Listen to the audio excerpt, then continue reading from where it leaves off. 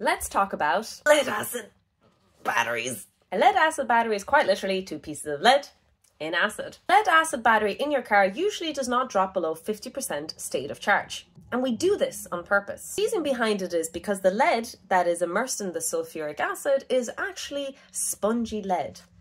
The reason we call it this is because there's lots of holes and nooks and crannies inside of there to increase the surface area of the electrode.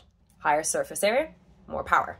However, if you drop below 50%, a few things can happen. Sulfate crystals begin to form which blocks these pores. This reduces the surface area, which then reduces the battery capacity. If you keep doing this over and over again, it will actually make the electrode brittle and fall apart. Usually we also avoid really high states of charge to stop from electrolysis being the preferred thermodynamic reaction.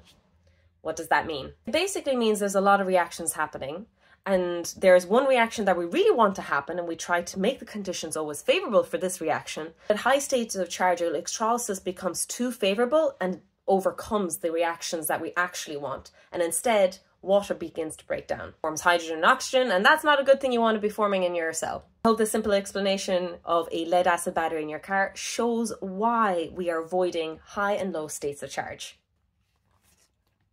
Oh god, that is so heavy. At least it'll make for a funny intro.